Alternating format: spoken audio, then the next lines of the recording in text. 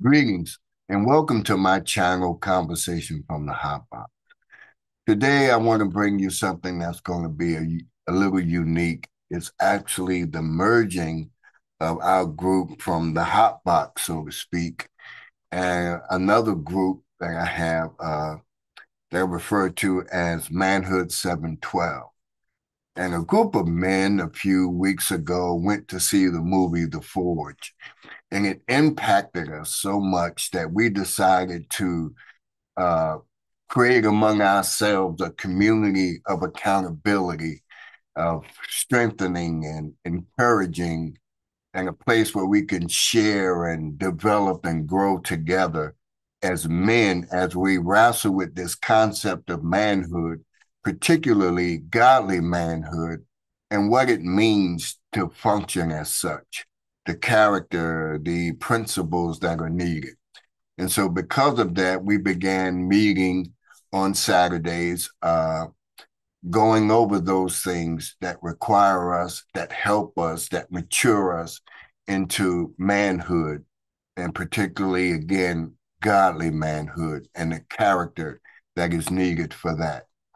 And so, today I'll just be sharing. Uh, just a few minutes of, of some of that meeting uh, to highlight the fact that uh, there are young men that notice that they need uh, that encouragement, that uh, instruction, that correction, those examples, the sharing of testimony, the sharing of our successes as well as our failures. And so I just wanted to share some of that with you today and also to highlight and promote a powerful conference that's taking place in uh, Dallas, Texas this week, uh, referred to as A Man Thinketh.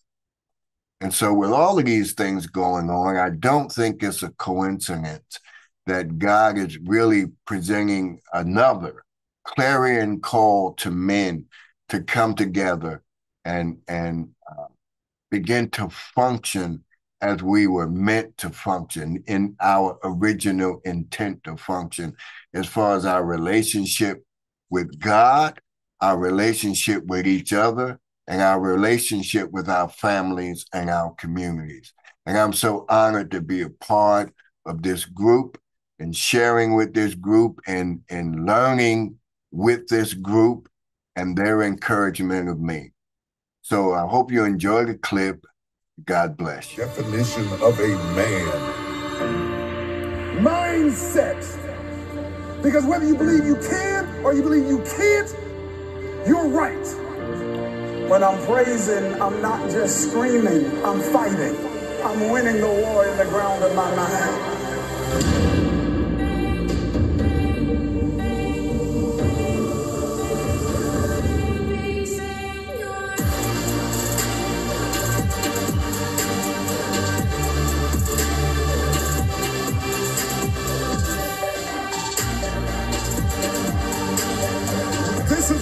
Men's meeting. This is a men's meeting.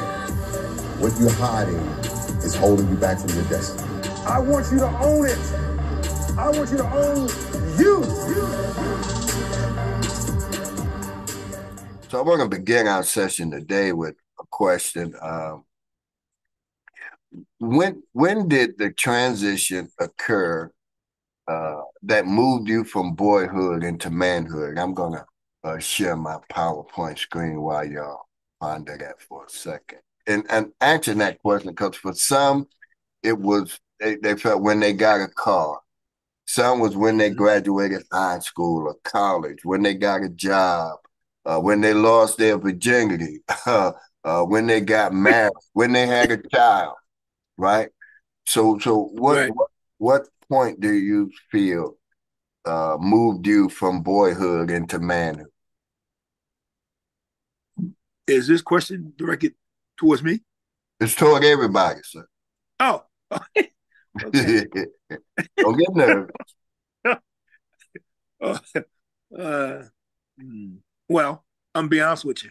Uh, you know, for me, straight up, y'all, it's just uh, I've always been living with my mother or living with somebody, something.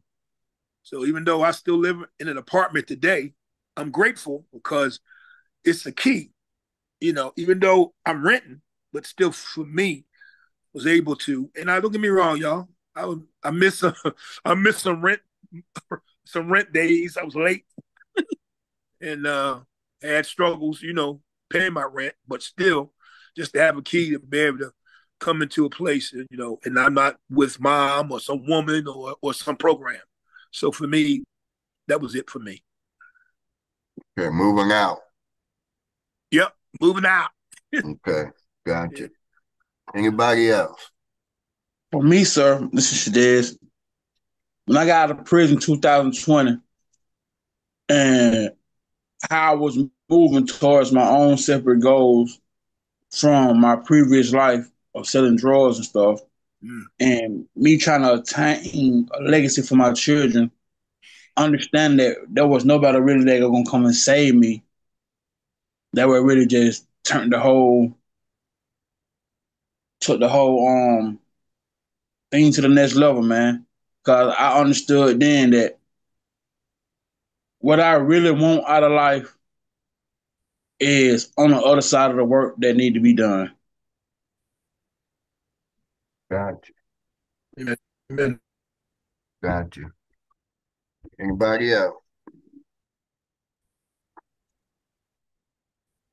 Um, you, you know, uh, that's a question I've never really um pondered before. Mm-hmm. Um, so I was thinking as you as you were talking, um, mm, I guess I guess f- for me is um when when I my, my, the first time I went to college and um my dad dropped me off and left. Uh, I was a daddy's boy. Um, you know, me and my dad, you know, we were we were we were close up until he took his last breath in 2018. And um, as a matter of fact, when my parents divorced, uh, I, I, I, when I was 10, I was like, "Mom, you all right, but I'm still my daddy." Um, so for I think for me, that moment came when Dad dropped me off at college and then left. Cause uh, mm. man, I I ain't gonna lie, I cried that whole afternoon because that was the first time that um he had ever left me. You know, mm. um, and wow. you know, I was I was hit. I was and, and I'm from, y'all know I'm from the Virgin Islands, so um, coming from the Virgin Islands and then going to Missouri, St. Louis, Missouri, and then being there by yourself. That after uh, I actually cried myself to sleep. And when I woke up, when I woke up that uh, later that evening, I realized, listen, you know, Dad's not here. You know, what I'm saying it's just you.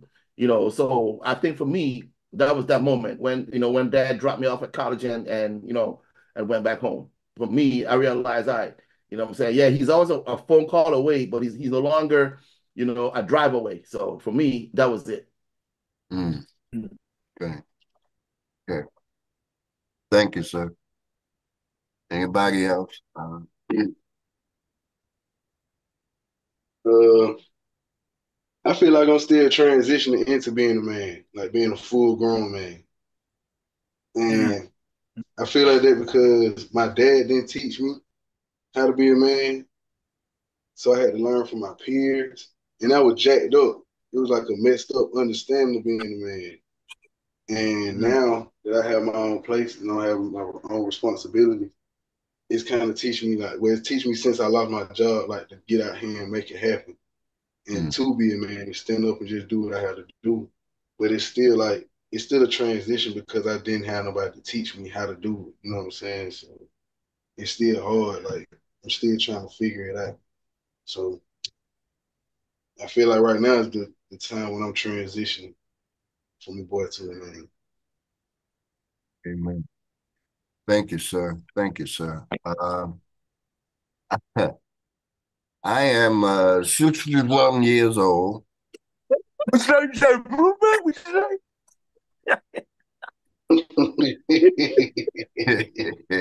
so me, did you say that? Y'all I'm sorry. some, some audio issues. I'm sorry. I'm not going to repeat. Right, yeah, right, right. but uh, but uh, I mentioned that to say I'm I'm I'm with you, brother. Uh, I feel I'm still processing, And for the reason uh, being that, and I think this applies to most of them. I'm not trying to superimpose my situation on you guys, but I I didn't have it. Um, uh, that that that father that was able to really explain and usher me into, or even express the principles of manhood. And I asked that question because it's that those answers are going to vary depending on who you ask. And it really brings us to the point of the confusion we have in terms of mm. what is a man and what is manhood. Because if I feel like it's when I graduated from college and you feel like it's when you had a child and you feel like, you know, when you were separated from your dad or, or when I got a car or whatever. And all of those moments are going to differ for each individual, but the reality of it is uh, our personality, our our our uh, emotional and and even psychological and intellectual makeup in reference to characteristics of manhood mm-hmm. on different levels at that point. And if we honestly didn't have anybody to foster us into those principles of manhood, mm-hmm. then we made up stuff. Mm-hmm. And so when you have to look back, as Robin said, you know, he was thrown off a little, right? Because that was a unique question. And so trying to look back, and we all do have done it. We try to look right. back and fish for a point where we could say, "Oh, I became a man here." Well, did you really? Yeah. Yeah. You see what I'm saying? And so that that's why now, you know, often I say we we're still at some point males groping in the dark, still trying to figure out what it is to be a man because there is no universal uh hold on, let me let somebody in groping in the dark, trying to uh, be a man. Uh, welcome, Mustafa. Uh, trying to be a man. Uh, it's it's it's it's hard. It's difficult. That's why society has been able to redefine manhood every generation or so. That's confusing. You know, at one today, men lack a community of males to initiate them into manhood and to recognize that their new status of being men. And that's part of the reason why we're here this morning and we're gathering in these mornings to, to help us uh, form and be that community for each other. Now, I'm actually, I'm, I'm sorry, y'all, these questions in my mind. Now, again, I'm, I'm, I'm directing this question to the young brothers. Question you have to ask yourself is because kind of like Elder, he's kind of setting us up for some stuff. But you know, this here, this thing here that he's talking about. Uh, the question I'm asking the question to y'all younger brothers. Ask this question: What is your passion? What, what, what, what pushes you? What drives you? Because see, now I'm asking that question because see, now once you know that, then you'll start making uh, moves in in the direction about being around. First of all, being a, around the right people to help you get to to get to where you're going. So the question I'm I'm asking is, that's something for you to think about, because as these classes we take, see again, brothers or younger brothers, question you need to ask yourself. You know, one of the brothers you asked, you said, I just got out of I, I got out of prison. Okay. So you out. So the question you need to do is it ain't just about having a job, having a place to live, and having a car.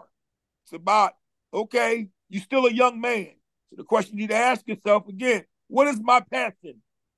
So that means you need to take some time out with God and find that out.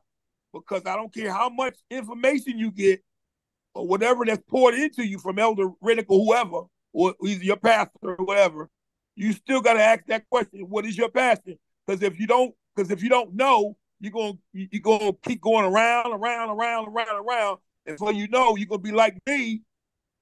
I woke up one day, I was 40, I was in my 20s, 30s before I knew I was 40. And I woke up one day, I was like, damn. And so what I'm saying to you is, and so now, since 40, I'm 66 now. So I'm still on this journey, still trying to figure it out where I'm going, what, what, what, what I'm going to do. And some days, brothers, it's fearful. I'm a, I'm a, I'm afraid. I'm scared. So I'm, I'm just, I'm just sharing that. I'm sorry, y'all. I'm, I know you going somewhere else, but no, I'm no, no. But, so, any closing thoughts, comments, questions? I want to hear from um Shadez Jordan and uh DJ Red Live. He be, uh, especially DJ Red Live. This his I think this is his first time being on, so I'd love to hear from the from the brother. All right, Jay. Since since you got the mic, go on and speak. Oh, uh, I, I enjoyed it. I want I want to go long. I ain't gonna even lie. The, the insights I be giving, I, I I love it. I ain't gonna lie, man. This you was quiet over there.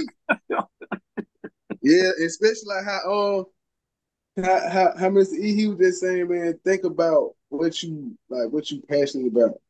Mm-hmm. Think about that, and like think about where you trying to go. And even like with the whole transition thing, like the, the three steps of transition, I had to write that down because I don't I don't know what I didn't know where to begin to start to be a man. You know what I'm saying? Mm. So and just learning about like the birth, where the passage, the rites of passage that, that the other young man got to go through. It's also it was also something that stuck out to me like when you said um a rite of passage in the black community was going to jail. Mm-hmm. And one thing I had to think about, like I was thinking about that, like I, they used to always bother me like when I was young. I was like, am, am I a real man because I ain't been to jail yet? Because I ain't never went to jail. Mm. So like, am I a real man because I ain't been to jail? Am I a real man yet? Because I, I haven't been, I haven't been to jail. Like, does that not make me a man? And so it's like a lot of things I learned now because I got a friend. He just got eight years in prison, wow. in state prison. Wow. But it behind it behind the female, like he, he in the chain gang behind the female. That's right. That's and right. That's right. I was just it, it made me look it made me look at his situation so and like just notice like man, I'm I'm really I'm really doing better than I think I'm doing. Mm-hmm. And he it's like he missing that time from his children. He got like three kids with the girl. He missing that time from them. It's gonna be eight years going off your children's life, but you ain't gonna be there for them. You know what I'm saying? Mm-hmm. And so I feel like God preparing me to be a good husband and be a good father when the time comes for me to be a husband. And learning this from y'all, like it's teaching me so that I won't have to go through the same thing that someone else mm-hmm. so that I could be a better man. So Amen, it just it's it, it's it's helping me like it's it's helping me like it helped me a lot because just like I like I didn't have that father figure that to tell me something. My daddy was there, but he wasn't there like that. You know what I'm saying? Like he didn't teach me because he didn't have a father. Mm-hmm. So he just going on what he learned from being around his the males of his family. He was raised around right. pimps and stuff like that. So it's it's really it's showing me like another way to go. And plus, like I had a conversation with a young lady I was talking to, and she was like, just because you was raised around a certain environment don't mean you gotta act that certain type of way. Mm. You could you could be different from them. You could be better than them. And it just really just stood at me like this something I need because I don't know. I don't know what it is to be a man. Like I don't know. I don't know. Like the I want to know what it is to be a man, but I want to know what it is to be a man of God too. I, I asked God about that. I'm like, God, teach me how to be a real man of God. teach me how to be somebody that's going to represent you well, and also be able to, you know, like I was saying, like take care of my community, take care of the people around me, take care of my mother, take care of my sisters and brothers and stuff like that, and just make sure that I'm being the best man that I can be, and being a man not like everybody else, not like the people I've seen be me, but be me like God. You mean this that's a man of God because I, I don't know where to start, but I, I I love the fact that I'm in the community with men around me who got more than me, who done been through long, who done been through life um, further than me to teach me how to be a man. So that so I can do the right thing. Amen. Wow. Amen. Wow, bro. Thank you, man. Thank you for sharing that. Um, wow. I appreciate y'all for sharing. I appreciate y'all for sharing what y'all went through, man. You know, like I done been out there sold drugs before and stuff, but by the grace of God, I ain't got caught. You know what I'm saying? So right. it's like learning how to, like J- Joe and I met Officer Peterson, like he seen something in but I couldn't see that in myself. I couldn't see who I was. I I didn't know who I was. Like I ain't know. I didn't know. I didn't know who I was. Like, I, I was really, really lost. I, I was lost. Like I always believed in God, but my identity as a man, I didn't know. Like, I don't. I, I didn't know who I was as a man. Even still to the day, I still want to learn who I am and who I'm going to be as a man. Like I just, I want God to transition me to who I'm supposed to be. So Amen.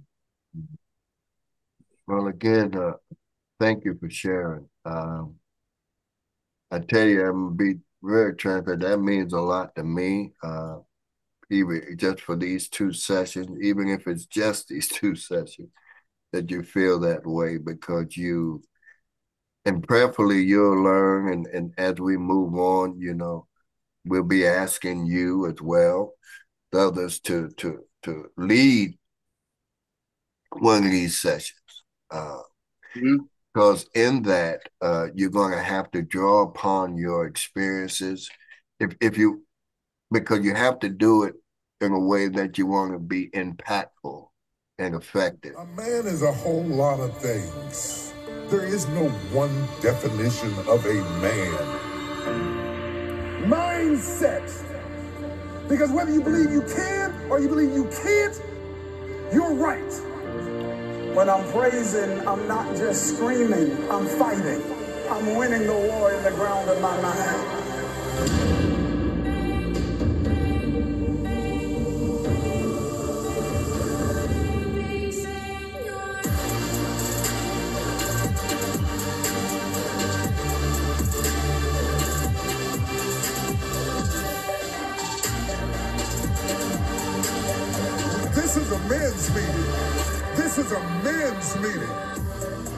Hiding is holding you back from your destiny. I want you to own it. I want you to own